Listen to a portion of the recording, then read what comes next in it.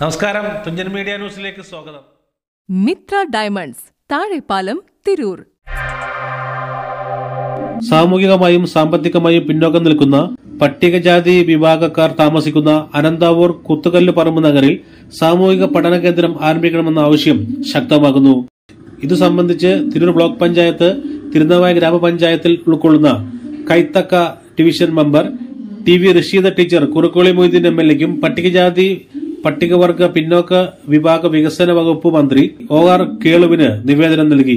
അനന്താവൂർ പ്രദേശത്തെ പട്ടികജാതി വിഭാഗത്തിൽപ്പെട്ട അഞ്ഞൂറോളം കുടുംബങ്ങൾ താമസിക്കുന്ന പ്രദേശമായ കൂത്തുകല്ല് പറമ്പ് നഗറിലുള്ള വിദ്യാഭ്യാസ തൊഴിൽ ശാക്തീകരണത്തിന് ഉതകുന്ന പരിശീലന പദ്ധതികളാണ് ആരംഭിക്കേണ്ടതെന്ന് മന്ത്രിയോട് ആവശ്യപ്പെട്ടത്. നൈപുണ്യ വികസന കേന്ദ്രം ഐ ടി അധിഷ്ഠിത പരിശീലന കേന്ദ്രം മത്സര പരീക്ഷകൾ തയ്യാറെടുക്കുന്നവർക്കുള്ള പഠന പരിശീലന കേന്ദ്രം സാമൂഹിക വികസനത്തിനുതകുന്ന പദ്ധതികൾ മൾട്ടി പർപ്പസ് കോംപ്ലക്സ് എന്നിവയാണ് നിവേദനത്തിൽ ആവശ്യപ്പെട്ടിട്ടുള്ളത്. നിവാസികളുടെ സമ്പൂർണ പുരോഗതി ലക്ഷ്യമിട്ട് നടപ്പാക്കുന്ന പദ്ധതിയിൽ നവീകരണ പ്രവൃത്തികളും ആവശ്യപ്പെട്ടിട്ടുണ്ട്.